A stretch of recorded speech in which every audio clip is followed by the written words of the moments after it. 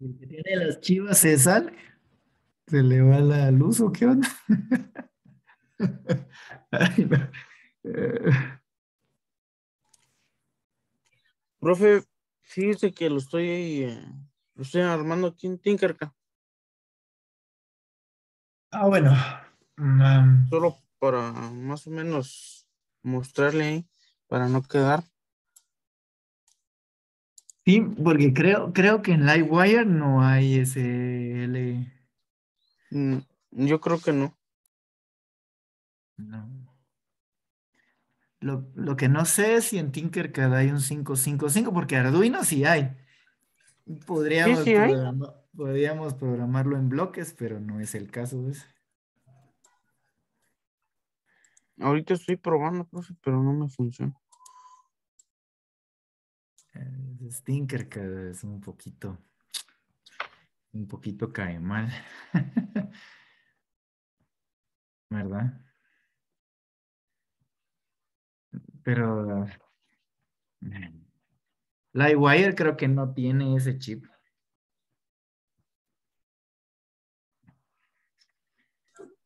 ¿Me da chance de mostrárselo, profe? Para... Sí, permita. Sería buenísimo tener, eh, ¿cómo se llama esa cosa? Proteus, pero es que Proteus es bien grandote.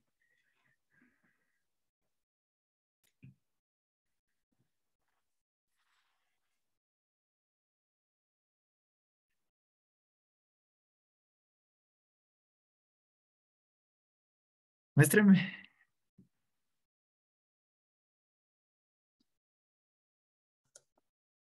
No, o sea, solo voy a quitar esto.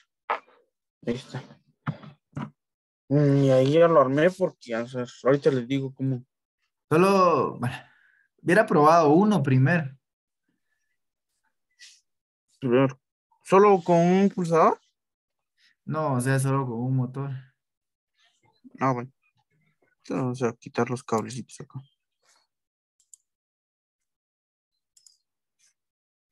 Profe, el pulsador no sé si está bien conectado así.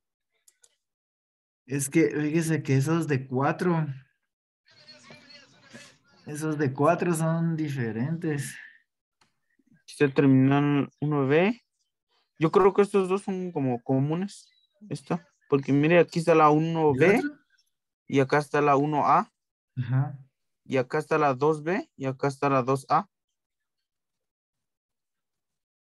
Ajá, pero ahora aquí quiero ver algo. Ah, bueno, pero es que creo que la 1 y la A son las que tienen continuidad. ¿Sabe? ¿Sabe cómo podría probar? Antes de conectarlo a los motores, es de, hágalo. O sea, como ese tiene cuatro, ¿verdad? Sí.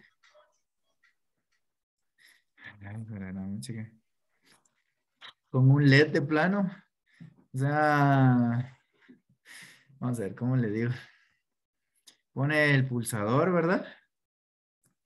Y esta patita la pone a los 5 voltios. ¿Sí?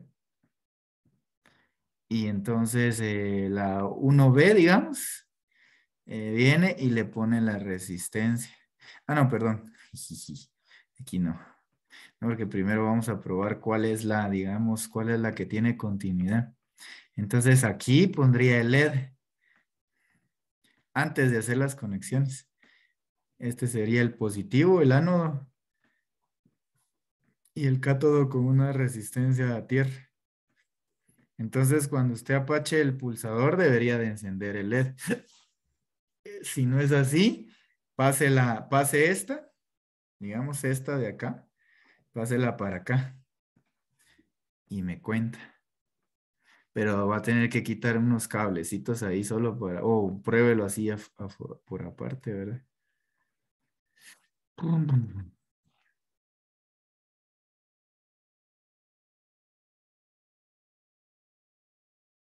Esos de cuatro son medio raros.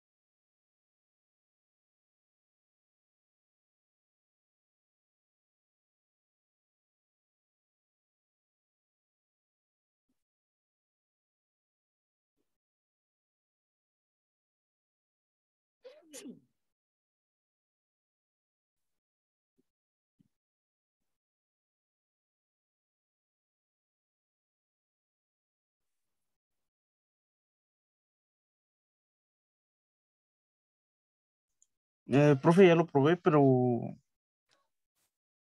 con la, por ejemplo, para que le den encienda cuando yo pulse, usé la terminal 1B y la terminal 2B y lo probé con la con la 2A y sí funciona.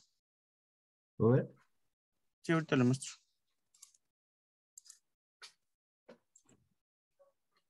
Ahí está, mire. Ahí está, y ahí enciende a la hora de darle el pulso. Digamos Ahí que está. las dos de arriba, entonces. También funciona con los dos de abajo, mire, muestro. Ah, no, pero cruzado no. No, O sea, la de, la de aquí arriba con la de aquí abajo, cruzado. así, así es. No, así no, eso es recto. Cruzado le decía yo. Ahí, ajá, Así. exacto, ajá. Dele. Voy a poner negativo ahí. Ahí está, mire. ¿Qué sé? Bueno, entonces como usted quiera, así cruzado o, o arriba. No. Entonces, eh, entonces digamos que, verán, aquí ya nos pasamos, pero no importa. Entonces sería conectado así, entonces. Entonces usted viene y pone este a 5 voltios, ¿verdad? Entonces este sería acá, con la resistencia a tierra, y de aquí sacaría los pulsos, ¿ya? ¿Verdad? O si lo hace de aquí arriba. Mm. ¿Ya me entiende? Nada, sí, sí, o sea que yo lo tengo. Ni siquiera lo tiene conectado. Ah, es que Sí, tiene. pues lo, yo lo que lo tengo, yo lo tengo conectado a positivo. Tendría que ser a negativo. Sí, sería la resistencia así. va a tierra y el pulsador solito es el que va positivo. Cambiémonos de periodo, chicos, perdón.